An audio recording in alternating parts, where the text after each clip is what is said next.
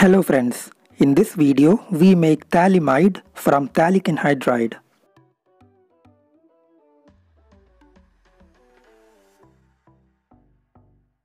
Phthalimide is an imide derivative of phthalic anhydride. It's a precursor to synthesis of anthranilic acid and also in Gabriel phthalimide reaction for the preparation of primary amines. Materials required for this reaction includes 10 grams of phthalic anhydride, 2 grams of urea and 300 milliliters of ethyl alcohol for recrystallization.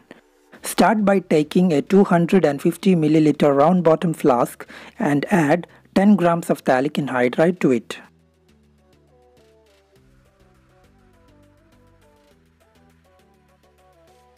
Now add 2 grams of urea over the phthalic anhydride.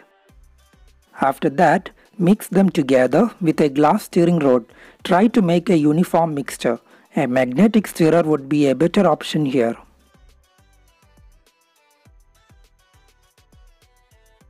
After getting a uniform mixture, we place the flask in an oil bath and start heating the flask. When the temperature reaches around 140 degrees Celsius, the urea starts melting, thus starting the reaction. Melting point of urea is around 130 to 135 degrees Celsius. What's happening here is urea is reacting with two molecules of phthalic anhydride to form phthalimide and carbon dioxide is released.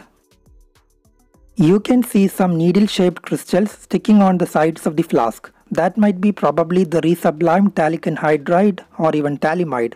Whatever that be, it quickly covered the whole inner lining of the flask, thus masking the beautiful reaction. Anyway, when reaction comes to an end, all those crystals disappear and in the flask we are left with a foamy solid. Frothing indicates the end of the reaction. So now we take out the oil bath and allow the flask to cool to room temperature.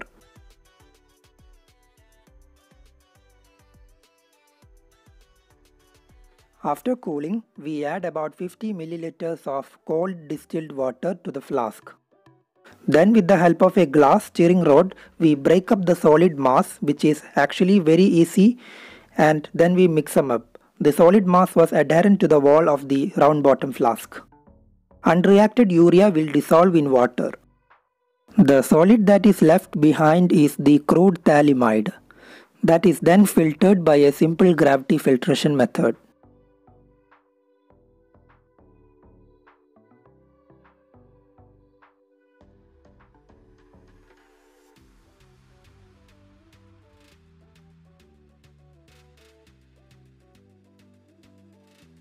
Now we need to purify our product. For that we use the recrystallization method. For that 300 milliliters of warm ethyl alcohol was used to dissolve the crude phthalimide.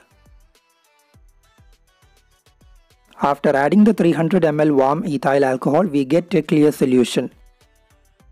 After that we let it sit in room temperature to cool. On cooling we can see the needle shaped crystals of phthalimide separating out. This is actually a time-lapse video showing the crystals separating out.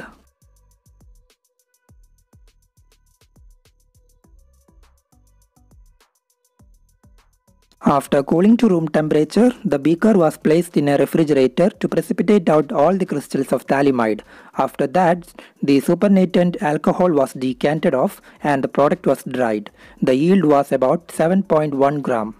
I would like to take this opportunity to thank my Patreon supporters who have financially supported me so that I could get the materials required for doing all these experiments. Thank you so much for watching my video. If you loved the contents of this video, do hit the subscribe button and the bell button for notifications. You can also join my Discord server. I will put a link to that in the description.